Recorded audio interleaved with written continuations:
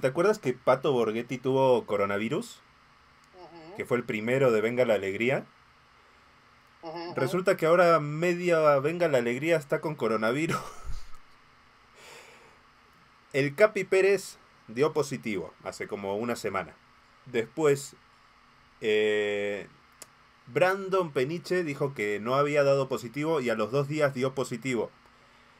Ahora también Flor, Flor Rubio también tiene coronavirus. El único que se está salvando pues es Horacio Villalobos. Es Horacito. Horacito. Porque Por... ni el coronavirus lo soporta. el coronavirus lo vio y dijo, no, mam, no, yo no voy. No, para aguantar eso todos los días, no. Para aguantar eso todos los días, sáquese a la goma. ¿Cómo ves a tu amigo? Llegó el coronavirus dijo, no quiero. Dijo, a Flor Rubio sí, a Capi sí, a Brandon Penel sí, a Horacio no, no, no, no. No, no, no, no, no, no, mana, la verdad no. aparte imagínate estar dentro, eh, estar dentro de Horacio, no estoy hablando en albur. Y como coronavirus, verse, verse al espejo, vas a ver a Horacio todos los días encuerado. No, no, no, no, porque pues tiene que infectar cada célula, entonces no, no, no.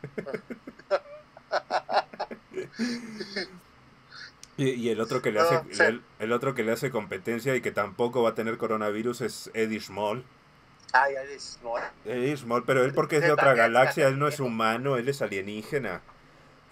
Él es una mantis religiosa y nadie se ha dado cuenta. Un día le va, a estar eh, teniendo relaciones y le va a comer la cabeza. Ajá. ¿no has visto que todo el tiempo está? O sea. Eh, Eddie, Small nos podría invitar a su programa. No, qué miedo, güey. Sería divertido. La verdad. Qué miedo. Así de que él diga. A mí, a mí sí me. ¿A vos sí qué? Ay, que. Ay, pero qué mal te vistes. Ah, pero. Pero si tú, güey. Pero si achú, güey.